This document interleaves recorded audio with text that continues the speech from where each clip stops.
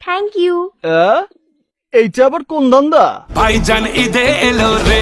ভাইজান খ্যাত সাকিবিয়ানদের সাকিব খান। প্রিয়তম হয় এবারে ঈদে আসতেছে প্রিয়তমা নিয়ে।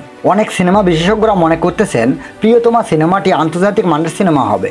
সাকিব খানের চোদ্দ বছর পর আবারও রেকর্ডের শীর্ষে থাকবে প্রিয়তমা সিনেমাটি। প্রিয়তমা ইতিহাসে নতুন দিগন্ত হবে সাকিব তথা সাকিবিয়ানদের প্রিয়তমার টিম কঠিন পরিশ্রম করছে নতুন মাত্রা যোগ করার জন্য। থাকবে ভিন্নতা যা কখনো দর্শক দেখেনি। প্রিয়তমার সিনেমার ট্রেজার ট্রেলার প্রকাশের চেয়ে সাকিব খান নামটিই যথেষ্ট। সাকিব খানকে মিস করো। সে আমার বাচ্চার বাবা? বাচ্চার বাবা? তোমার স্বামী তো না?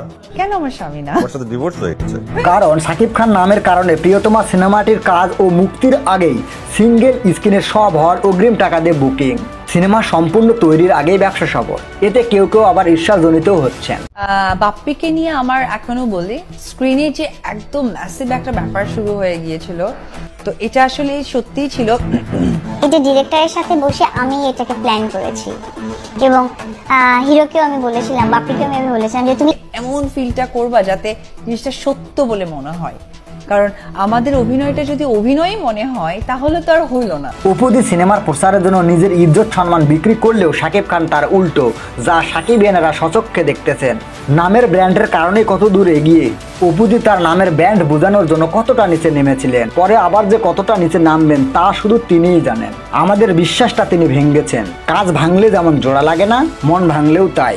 কিন্তু বস সাকিব খান তার কাজ কর্ম ট্যালেন্ট, বুদ্ধিমত্তা দিয়ে আমাদের মন জয় করে নিয়েছেন।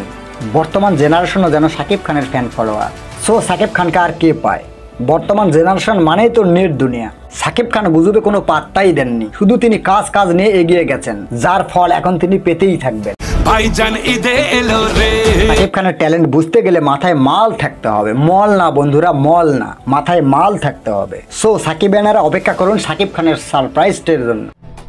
আমার বাচ্চার বাবা থেকে সবচেয়ে ইম্পর্টেন্ট আমি কিন্তু অপু ইসলাম খান আমার নামটা আমার বিয়েতে দেওয়া। আমি অপু বিশ্বের হিন্দু, হিন্দুই আছি।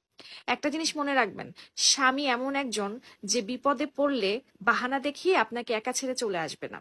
স্বামী একজন যে আপনি যত কিছুই করেন না কেন, মানুষের সামনে আপনাকে অসম্মানিত করবে না।